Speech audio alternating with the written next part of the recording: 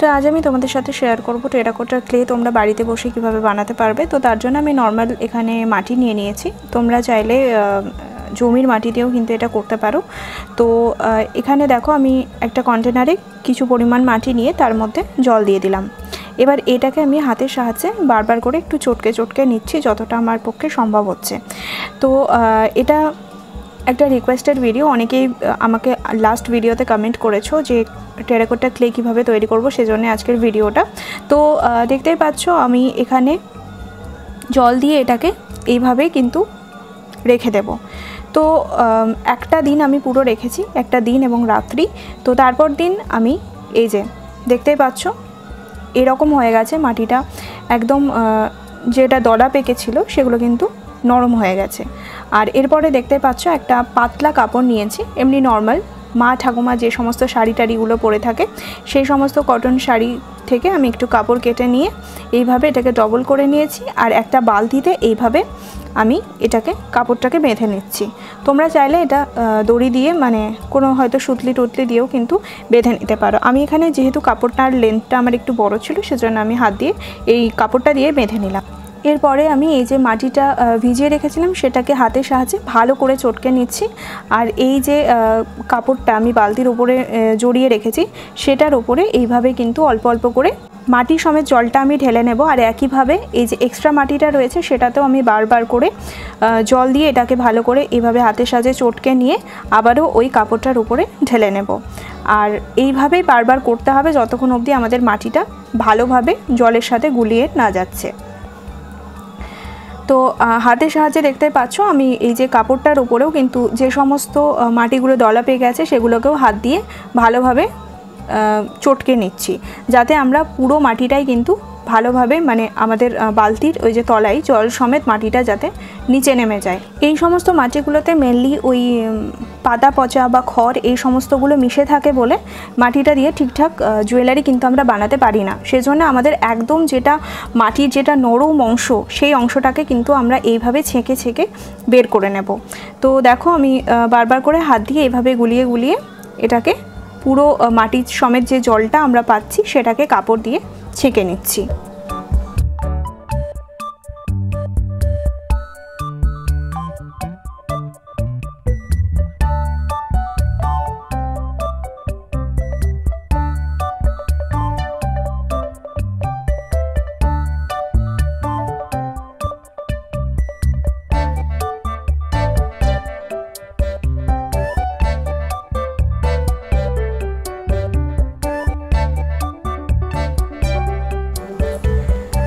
যে আরও একটু মাটি এই যে এর মধ্যে রয়ে গেছে, তো এই মাটিটা মনে হলে আরেকটু জল দিলে আমি আরেকটু ওই মাটিগোলা জল কিন্তু পাবো।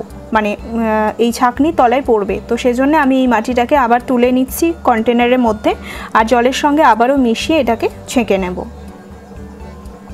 লাস্ট টাইম আমি যে টেরাকোটা জুয়েলারিটা বানানো তোমাদের সাথে শেয়ার করেছি, খুব ভালো রেসপন্স পেয়েছি।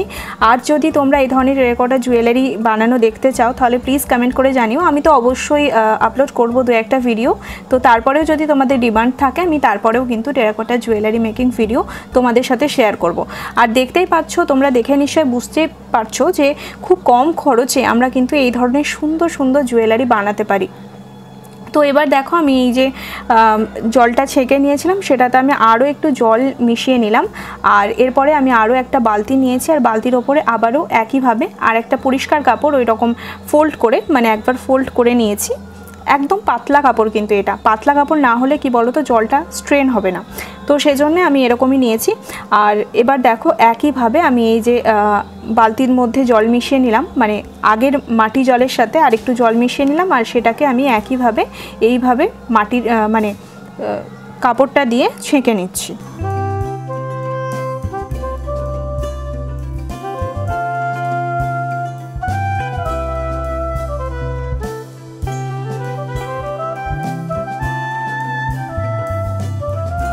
আমি যে টেরাকোটা জুয়েলারিটা তোমাদের সাথে শেয়ার করেছি, সেটা কিন্তু আমি আগুনে পোড়াইনি। আমি আগে বাড়িতে ট্রাই করব যে আগুনে পরিয়ে ওটা আদৌ ঠিকঠাক আসছে কি না তারপরেই কিন্তু তোমাদের সাথে শেয়ার করব।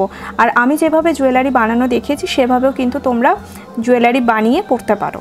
তো দেখো, আমি ওই যে বালতিটা, এটা এখন রোদের মধ্যে রেখে দিয়েছি। চার থেকে পাঁচ ঘণ্টা রাখার পরে জলটা দেখতেই পাচ্ছ, ওপরে উঠে এসেছে এবং তলায় মাটিটা থিতিয়ে এসেছে। এবার এক্সট্রা জল যেটা রয়েছে সেটাকে এইভাবে আলতোভাবে আমি বাইরে বের করে দিচ্ছি মানে বালতির বাইরে বের করে দিচ্ছি। আর মাটিটা শুধু মাটির পোর্শনটা আমরা বালতির মধ্যে রেখে দেবো আবারও।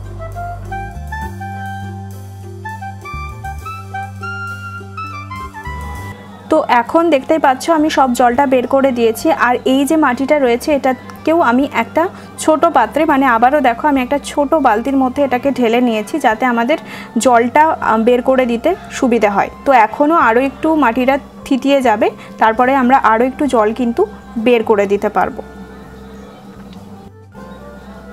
জলটা আমি ওভারনাইট থিতিয়ে নিয়েছি, তারপরে দেখো আরও কিন্তু একটু পরিমাণ জল ওপরে উঠে এসেছে। এবার এই জলটাকেও কিন্তু আমরা আলতোভাবে বাইরে ফেলে দেব। যাতে আমরা খুব সহজেই এই মাটিটাকে একটা কাপড়ের মধ্যে ছেঁকে নিতে পারি। তো এক্সট্রা জলটা আমাদের নিচে পড়ে যাবে আর মাটিটা কিন্তু আমাদের কাপড়ের মধ্যে চলে আসবে। তো এই যে দেখতেই পাচ্ছ, জলটা আমি পুরোটা কিন্তু যতটা সম্ভব ফেলে দিচ্ছি।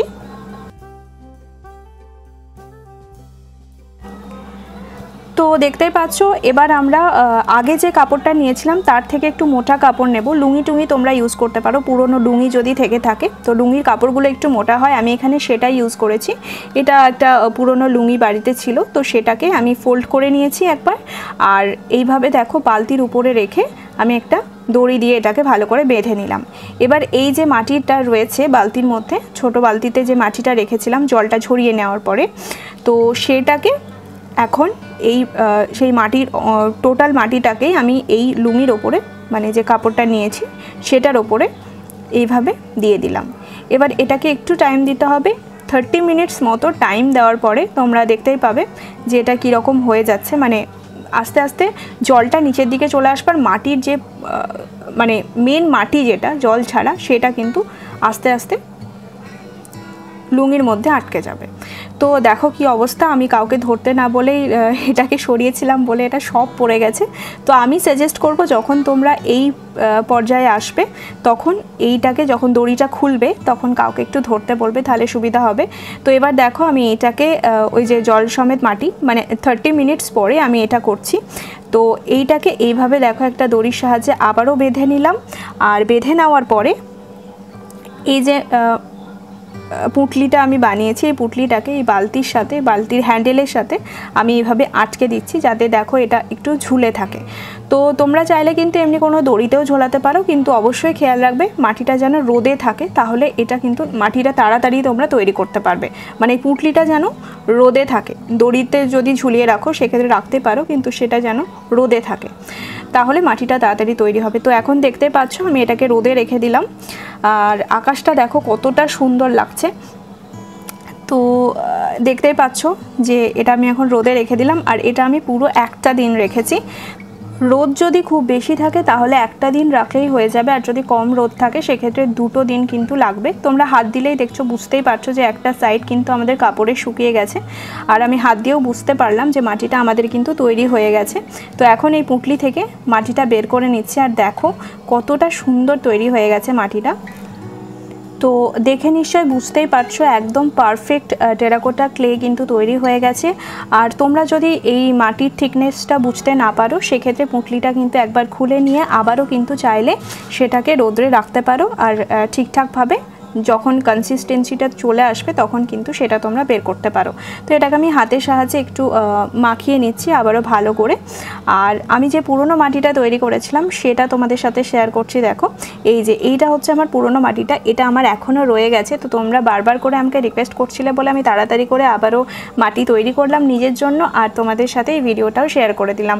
তো দেখছিলাম যে মাটিতে এই মেঝের উপরে মাটিটা বারবার লেগে যাচ্ছে, সেজন্য আমি আবার কাপড়ের ওপরে মাটিটাকে ভালোভাবে দুটো মাটিকে একসাথে মিশিয়ে নিচ্ছি। আর এইটাকে তোমরা কিন্তু কোনো, আমি বলব টাইট কন্টেনারের থেকে সব থেকে ভালো হবে যদি তোমরা এরকম একটা প্যাকেটের মধ্যে মাটিটাকে জড়িয়ে রাখো, তাহলে এই মাটিটা তোমরা অনেক দিন অবধি স্টোর করতে পারবে। তো তোমরা, তোমাদের একটা কথাই বলার, সেটা হচ্ছে তোমরা যদি আমার ভিডিও দেখে কোনো জুয়েলারি বানাও প্লিজ আমাকে ইনস্টাগ্রামে শেয়ার করো। ইনস্টাগ্রামের লিঙ্ক কিন্তু ডিসক্রিপশন বক্সে দেওয়া আছে। এছাড়াও আমার ইউটিউব চ্যানেলে অ্যাবাউট সেকশনে গিয়ে কিন্তু তোমরা পেয়ে যাবে। তো আজকের ভিডিওটা তোমাদের কেমন লাগল জানিও, আর আজকের মতো এই পর্যন্তই। Thank you